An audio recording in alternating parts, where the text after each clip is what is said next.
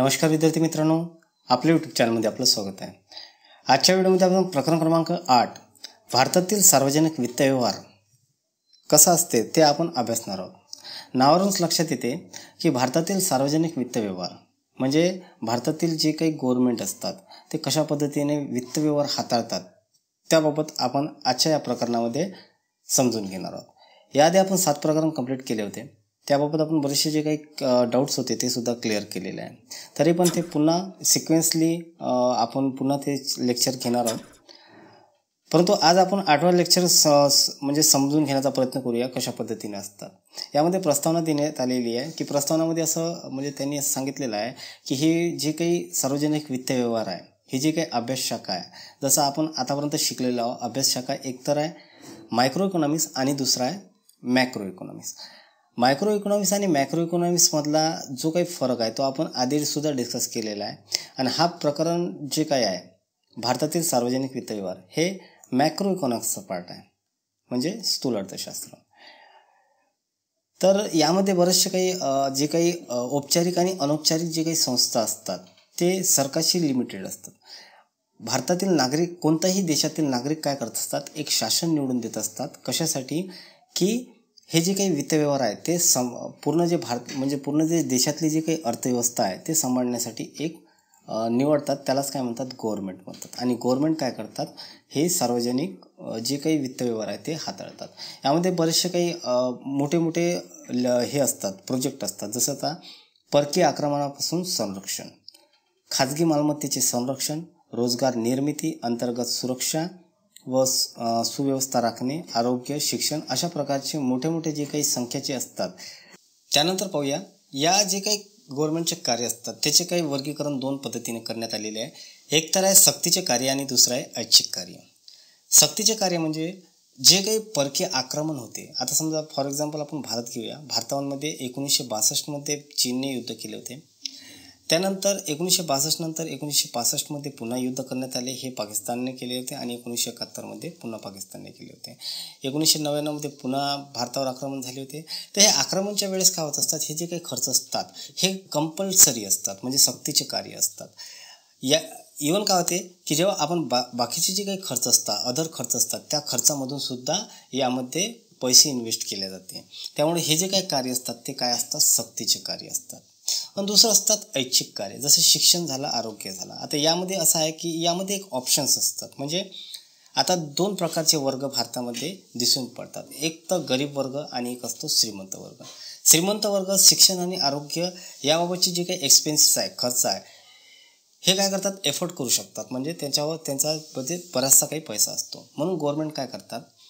याबाबत वेगळी तरतूद काढतात की जे वर्ग आहे की ज्यांच्यावर शिक्षण आणि आरोग्य ते स्वतःहून खर्च करू शकत नाही तर त्यासाठी काय करतात? गव्हर्मेंट एक सु सु म्हणजे सुविधा काढतात की शिक्षणासाठी फ्री ऑफ कॉस्ट त्यांना शिकवले जाते. आरोग्य सुविधा वेगवेगळ्या योजनेनुसार त्यांना तरतूद केले जाते. तर हे ऐच्छिक कार्य आहे. प्रत्येक गव्हर्मेंटचे वेगवेगळे कार्य असते.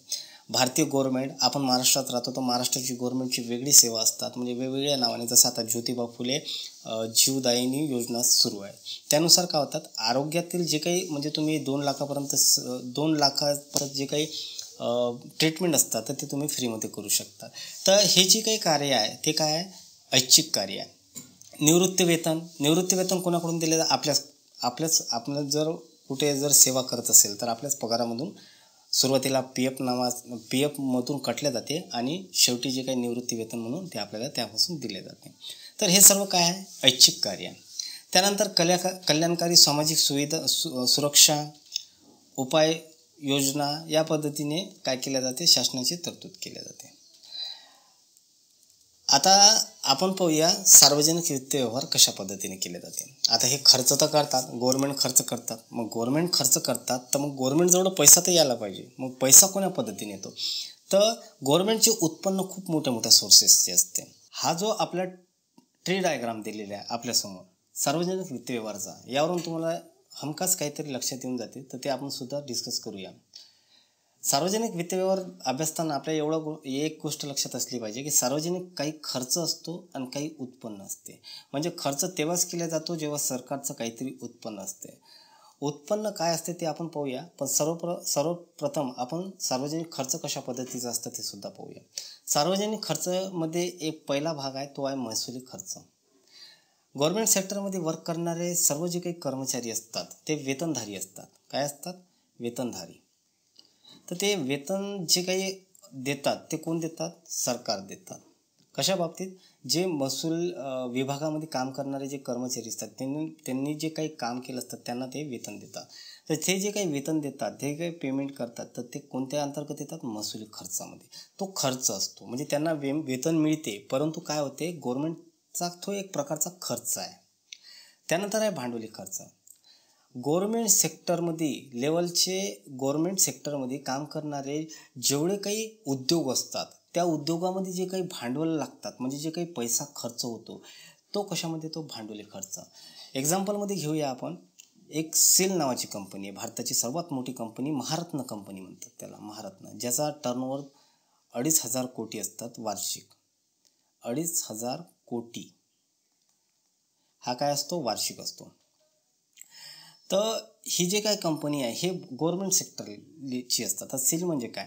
Coal India Limited Coal India Limited. यामध्ये कोळसा खदान असतात. या यामध्ये काय करतात करत असतात जेव्हा ते कोळसा खांदतात तर त्यावेळेस जेवढं पण लेबर असतात जेवढं पण काही खर्च असतात इलेक्ट्रॉनिक्स वगैरे वेगवेगळा जो काही खर्च असतो तो कशामध्ये येतो? तो भांडवली खर्चामध्ये येते. आणखी दुसरी कंपनी आहे O N G C company O N G C ही सुद्धा मोठी भारतनं कंपनी आहे. Oil and natural gas corporation हे भारताची कंपनी आहे.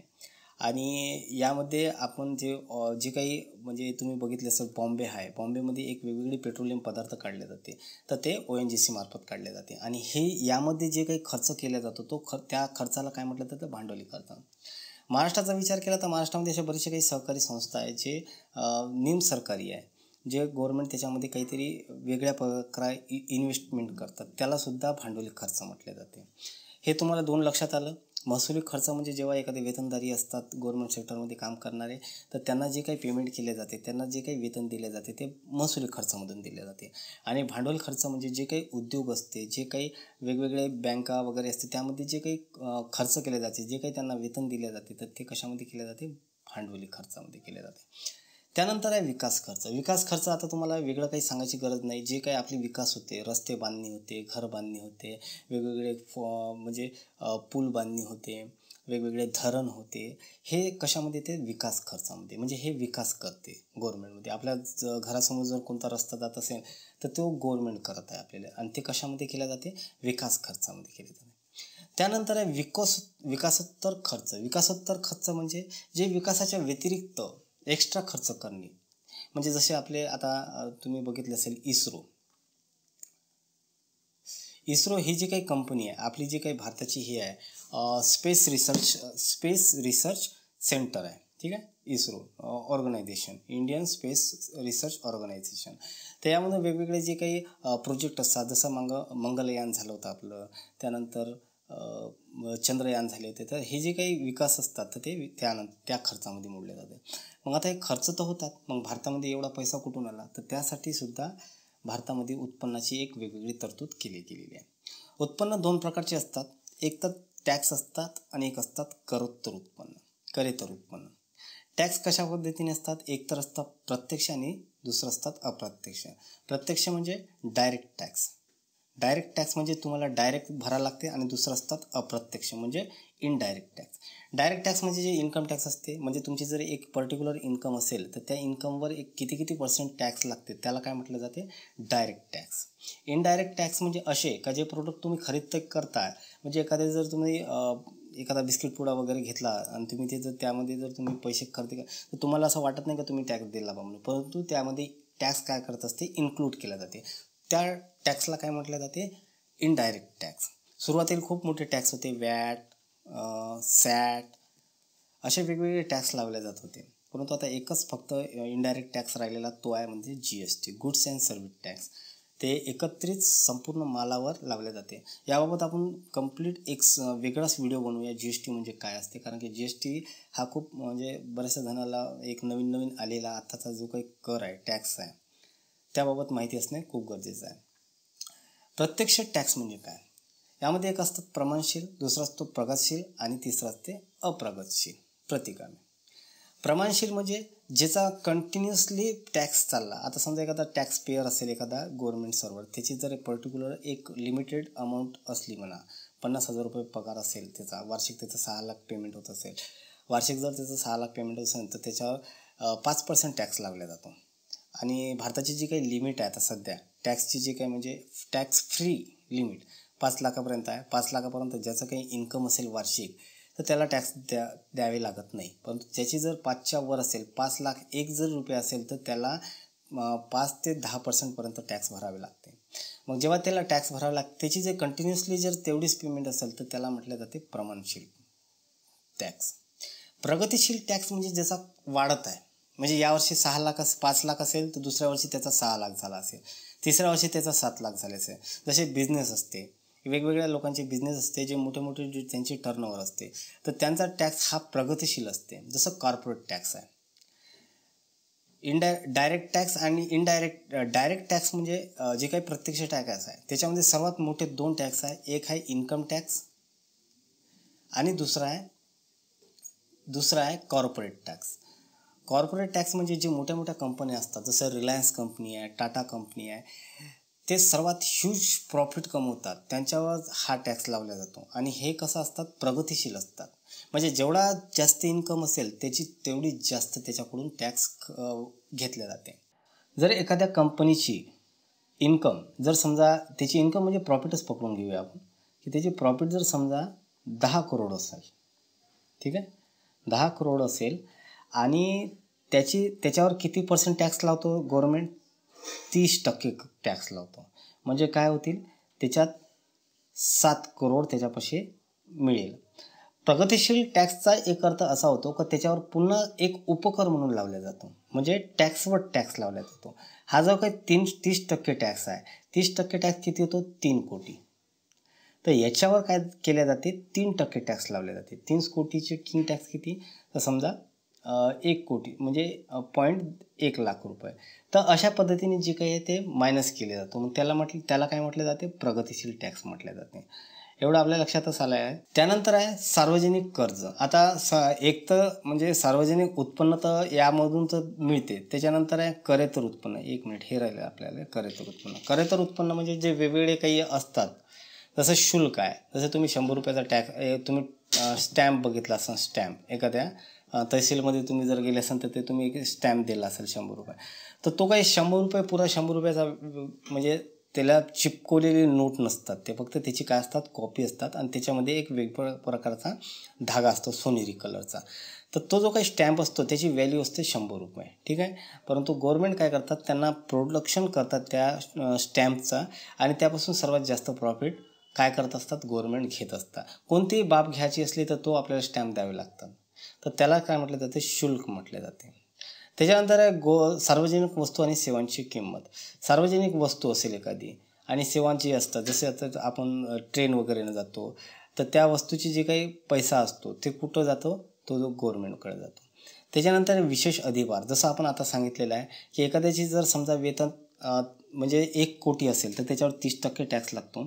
आणि तो तीस टक्के म्हणजे तीन कोटी जो काही टॅक्स असतो त्याच्यावर सुद्धा अधिभार लावला जातो. त्याच अधि अधिभार का बरं लावला जातो? कारण त्याची इन्कम ओव्हर इन्कम आहे. ओव्हर प्रॉफिट कमवता येतो. तर त्या ओव्हर प्रॉफिटवर सुद्धा कमवल्या जाते. तर त्यालाच काय म्हटलं जाते? प्रगतिशील टॅक्स म्हटले जाते. त्याच्यानंतर आहे दंड व दंडात्मक रक्कमा म्हणजे एखाद्या व्यक्ती असेल त्यानं कोणत्या ना कोणत्या प्रकारचा एखादा गुन्हा केला असेल तर त्याच्यावर एक दंड कोणत्याही कोर्टामार्फत दंड केल्या जाते आणि ते दंडाची रक्कम कुठं जाते? ते गव्हर्नमेंटमध्ये जमा होते. त्याच्यानंतर भेटी आणि अनुदाने व देणग्या.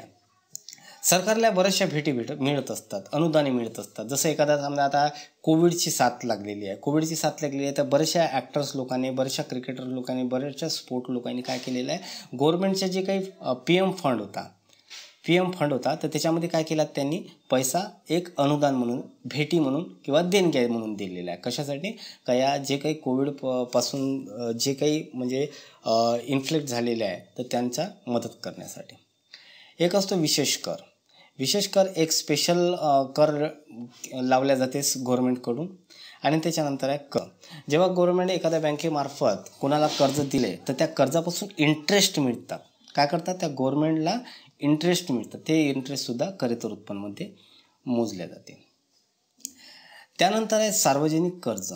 ठीक आहे? सार्वजनिक कर्ज हे दोन प्रकारचे असतात. एक तर असतात इंटरनल आणि दुसरं असतात एक्सटर्नल इंटरनल म्हणजे जे काही असतात ते बँकाकडून गव्हर्मेंट खरेदी करतात. आता काय करत असतात? एक शेअर्स असतात. तुम्हाला जर एक मी एक्झाम्पल दिले तर एक प्रकारचा शेअर्स असतात जे गव्हर्मेंटच्या मालकीचे असतात. ठीक आहे? गव्हर्मेंटच्या मालकीचे असते एखादे शेअर्स तर ते शेअर्स काय करतात? ते बँकांना ते काय करतात? बँकांना विकतात. जसं बँकांना ते शेअर देतात तर बँकाकडून काय होतात? त्यांना पैसे मिळतात कुणाला? गव्हर्मेंटला समजा आपण दहा एखादी शंभर कोटीचे शेअर्स असेल शंभर कोटीचे शेअर्स असेल गव्हर्मेंट काय करतात? बँकांना विकतात आणि शंभर कोटी काय करतात? ते त्या म्हणजे जे शेअर्स विकल्यानंतर त्यांच्यापाशी पैसे येतात. कुणापाशी? गव्हर्मेंटपाशी तर हा पण एक प्रकारचे काय आहे? सरकारपाशी पैसा येतो. हा झाला अंतर्गत खर्च. हे झाला एक बाबू. एक बाबी. अजून आणखी काही शेअर्स काय करतात? गव्हर्नमेंटने का पब्लिकमध्ये पब्लिकमध्ये पब्लिक करतात. म्हणजे लोकांना विकतात. तर लोक जेव्हा ते शेअर्स खरेदी करतात तर लोकांकडून पैसा गव्हर्मेंटकडे जाते. हा सुद्धा अंत हे सुद्धा अंतर्गत कर्जामध्ये येते. एवढं लक्षात ठेवा.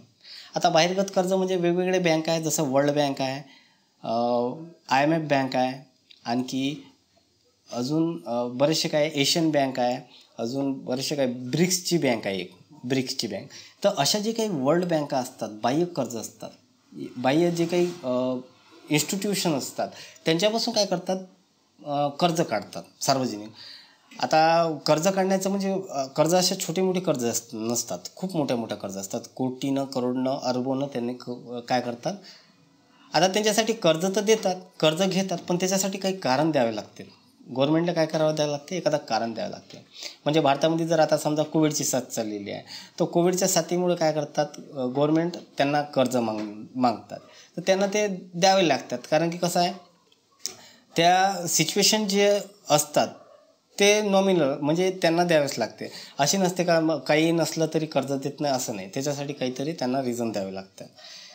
त्यानंतर आहे हे तर बघितलं आपण अंतर्गत आणि बाहेर कर्ज. आता हे झालं सार्वजनिक म्हणजे आपल्या पूर्ण देशाचा विषय. आता स्टेटचे काय वित्तीय धोरण असतात. म्हणजे जर आता फॉर एक्झाम्पल आपण महाराष्ट्रातच घेऊया. महाराष्ट्रामध्ये सुद्धा सार्वजनिक खर्च होतात. वेगवेगळे फ्लायओव्हर होतात वेगवेगळे रोड बांधणी होतात वेगवेगळे काय म्हणतात त्याला धरणे बांधणी होतात. तर त्यामध्ये जे काही खर्च केला जातो त्यांना सार्वजनिक खर्च म्हणतात. सार्वजनिक महसूल जसं आपण सांगितलेलं आहे सार्वजनिक म्हणजे पंचायत समिती जिल्हा परिषद नगरपालिका यांच्यामध्ये करणारे जे काही कर्मचारी आहे त्यांच्यावर जे काही महसूल खर्च होतो ते सार्वजनिक खर्च असतो. सार्वजनिक कर्ज सार्वजनिक कर्ज म्हणजे या बँकाकडून सुद्धा राज्य कर्ज घेतात. देश सेंट्रलवरूनही कर्ज घेतात आणि हवा पडली तर ते परदेशामधून सुद्धा कर्ज घेतात. मग त्यालाच वित्तीय धोरण म्हणतात. त्याच्यानंतर आहे वित्तीय प्रशासन. वित्तीय प्रशासन हा पाचवा भाग आहे. आपण बघितलेला पहिला सार्वजनिक खर्च दुसरा आहे सार्वजनिक उत्पन्न सार्वजनिक कर्ज राज्य वित्तीय धोरण आणि वित्तीय प्रशासन. शासकीय अंदाजपत्रक उत्पन्न कर्ज उत्पन्न खर्च कर्ज आणि एकूण वृद्धासाठी केलेले धोरण. महिन्याच्या शेवटला म्हणजे आपलं जे काही वित्त व्यवहार ते कोणतं इयर क करतात? एक एप्रिल ते एक एप्रिल ते एक एप्रिल ते कोणतं? पंचवीस सॉरी एकतीस मार्च. या दरम्यान काय केलं जाते? एक आपलं वित्तीय वर्ष ठरवले जाते. या वित्तीय वर्षामध्ये एक आपले जे काही वित्तमंत्री असतात ते बजेट मांडतात. बजेट मांडतात. त्या बजेटमध्ये एक तर सार्वजनिक खर्च मांडला जातो आणि सार्वजनिक खर्च करण्यासाठी उत्पन्नाचे सोर्सेससुद्धा त्या बजेटमध्ये मांडले जाते. तर हे आपण आज सार्वजनिक वित्त व्यवहाराची काही छोटीशी आपण माहिती घेतलेली आहे. आता सार्वजनिक वित्त व्यवहार आणि खाजगी वित्त व्यवहार यामध्ये काय फरक आहे ते सुद्धा आपण समजून घेऊया. थोडं फास्ट झालं असेल पण तरी व्हिडिओ जर तुम्ही रिपीट ऐकला तर तुम्हाला समजून जातील. यामध्ये उद्दिष्ट दिलेलं आहे. यावरूनच आपल्या लक्षात येतील की वित्तीय व्यवहार सार्वजनिक कशा पद्धतीने केले जाते आणि खाजगी पद्धतीने. समाजाला महत्तम लाभ मिळवून देणे हा कोणाचा उद्देश असतो? सार्वजनिक वित्त व्यवहाराचा. आणि खाजगी वित्त व्यवहाराचा काय उद्देश असतो? स्वहिताची पूर्तता करणे. म्हणजे आता कोणताही खाजगी एखादा वित्त उद्योग असेल किंवा आपण स्वतःचं जर आपण एक म्हणजे तुलना केली कोणाशी? एखादी समाजाशी समाजाच्या एखाद्या संघटनेशी. तर आपण काय करतो? आपलं जर समजा कोणता एखादा इन्कम असेल तर आपण आपण स्वतःसाठी खर्च करतो. तर त्याला त्यालाच काय म्हटलं जाते? स्वतःची पूर्तता करण्यासाठी. सार्वजनिक वित्त व्यवहाराचा काय असते उद्देश? समाजाला महत्तम लाभ देण्यासाठी. म्हणजे एखादी जर योजना काढली तर ते कशासाठी काढते? स्वतःसाठी काढत नसून लोकांसाठी काढते. एक्झाम्पल जर घेतले तर बरेचसे असे एक्झाम्पल आहे बरेचसे असे योजना आहेत जे समाजासाठी यूज केल्या जाते. म्हणजे जसं आरोग्यासाठी जीवदायिनी योजना असेल शिक्षणासाठी एखादी शिक्षण योजना असेल ज्याच्यामुळं पुस्तके शिक्षण पाणी सर्व जे काही खर्च केला जातो किंवा स्कॉलरशिप दिल्या जाते पैशाची किंवा एखाद्या एखाद्या गरीब जनरापाशी घर नसेल तर त्याला घरकुल योजनानुसार त्यांना घर बांधल्या जाते. तर हा जो काही उद्देश असतो हा समाजाला महत्तम लाभ मिळवून देण्यासाठी असतो. त्यामुळे हा जो काही वित्त व्यवहार असतो हा सार्वजनिक वित्तव्यवहाराचा सर्वात महत्त्वाचा उद्देश आहे. आणि खाजगी वित्त व्यवहार तर आपल्याला माहीतच आहे की तो स्वतःची करता. या सा सार्वजनिक वित्त व्यवहाराचा जो काही उद्देश असतो त्याच्या उलट काय असतो? खाजगी उद्देश खर्चाचे निर्धारण. शासन सर्वप्रथम आपल्या खर्चाची पातळी आणि खर्चाचे भिन्न भिन्न मार्ग निश्चित करते. मग याच्याच उलट काय असते? की व्यक्ती प्रथम आपले वैयक्तिक उत्पन्न विचारात घेते आणि खर्चाचे मार्ग निश्चित करते. हा काय करतो? व्यक्ती प्रथम आपली इन्कम किती आहे आणि ते आपण खर्च किती करू शकतो यावर जास्त फोकस करतो. शासन काय करते? सर्वप्रथम खर्चाची पातळी आता बजेट मांडताना काय करत असतात? सरकार सर्वात पहिले खर्च मांडतो खर्च. खर्च मांडतो आणि खर्च मांडल्यानंतर मग त्याची जी काही इन्कम कशा पद्धतीने केले जाते? जसं आता पेट्रोलची पातळी पेट्रोलचे जे काही प्राईज आहेत ते सतत वाढत चाललेले आहे. का बरं वाढत चाललेले आहे? कारण की सरकारचा जो काही खर्च आहे तो सुद्धा वाढत चाललेला आहे. मग आता जे काही बजेटमध्ये मांडलं होतं ते काही पूर्तता होणार नाही. म्हणून काय करताय? जे सर्वात जास्त नागरिकांना आवश्यक असतात. त्या आवश्यक वस्तूवर काय करतात? खर्चाची पातळी वाढून देते. म्हणजे जसे आता ख खा खाण्याच्या तेलापासून तर आपल्या गाडीतल्या पेट्रोलच्या तेलापर्यंत जे काही प्राईज आहे ते वाढत चाललेली आहे. तर अशा प्रकारे निर्धारण केले जाते. व्यक्ती काय करतो? आपली इन्कम किती आहे? आपली इन्कम जर समजा लिमिटेड असेल तर त्याच इन्कमनुसार काय करतो? तो खर्च करतो. त्याच्यानंतर आहे पतस्थिती. शासनाची बाजारपेठेतील पतं मोठ्या प्रमाणात असते. जसं आपण आता डिस्कस केलेलं आहे. खाजगी व्यक्तीची पद हे मर्यादित असते. आपल्याला फक्त एक पॉईंट लक्षात ठेवायचा आहे. बाकीचे काय आहे तर ते आपण एक्सप्लेन करू शकतो. चलन छापण्याचा अधिकार. भारतातील रिझर्व्ह बँकेद्वारे चलनाची छपाई केली जाते. खाजगी व्यक्ती तसा करू शकत नाही. ठीक आहे? भारत भारतातील कोणताच नागरिक असा स्वतः व्यक्ती हा याला अधिकार नाही आहे की तो चलन छापू शकतो म्हणून. त्यामुळे हा सुद्धा एक महत्त्वाचा पॉईंट आहे. लक्षात राहते आपल्याला. छाप चलन छापण्याचा अधिकार फक्त रिझर्व्ह बँकेला आहे आणि खाजगी व्यक्तीला तो तसा अधिकार नाही. त्यानंतर आहे वित्त व्यवहारातील लवचिकता. सार्वजनिक वित्त व्यवहार हे अधिक लवचिक असते परंतु खाजगी वित्त व्यवहार हे फारसे बदल करता येत नाही. ठीक आहे? म्हणजे हेच सुद्धा आपला एक पॉईंट क्लिअर झाला. त्यानंतर आहे अर्थव्यवस्थेतील परिणाम.